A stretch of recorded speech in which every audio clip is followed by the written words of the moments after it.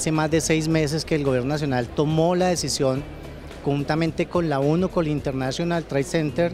y con Lógica, de trabajar un convenio que permita a los productores nacionales minimizar esa intermediación y tener un sistema que desde la producción registre toda la trazabilidad de la producción agropecuaria de cada uno de los productos nacionales y de los que se exportan para tener efectivamente el origen y el destino de esa producción nacional.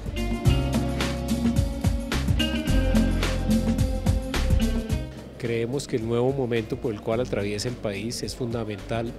volcarnos al campo y apoyar todo el desarrollo en las nuevas posibilidades que se le abren al país hoy en día, para llegar a todos los productores del campo de manera muy especial a los más pequeños, los más necesitados, para facilitarles su acceso a las redes internacionales de comercio electrónico.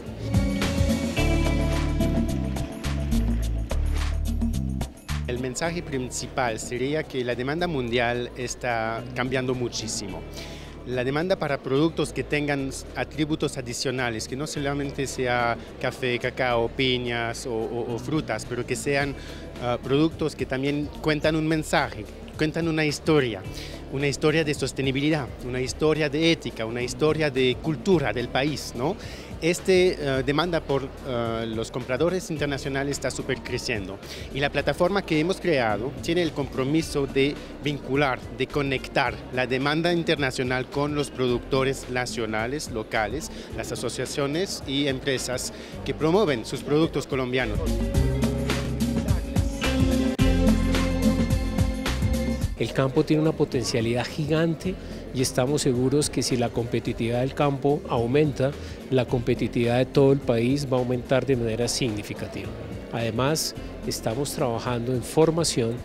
y en desarrollar proyectos de investigación que nos digan cuáles son las necesidades logísticas de la primera milla, cómo los productores, los campesinos sacan sus productos a los centros de acopio y cómo ese proceso puede hacerse más eficiente para que finalmente todos nos beneficiemos.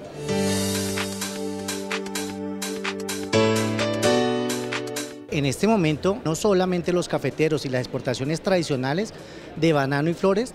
sino que han venido ganando terreno las exportaciones de frutos exóticos como la pitaya, la gulupa y otros que efectivamente la lima Tahití, el aguacate Hass están ganando mucha participación en el mercado internacional y que ya las exportaciones, a pesar de que tenemos una balanza superavitaria en valor, vamos a tener una diversidad de productos de exportación en el corto plazo para el sector agropecuario.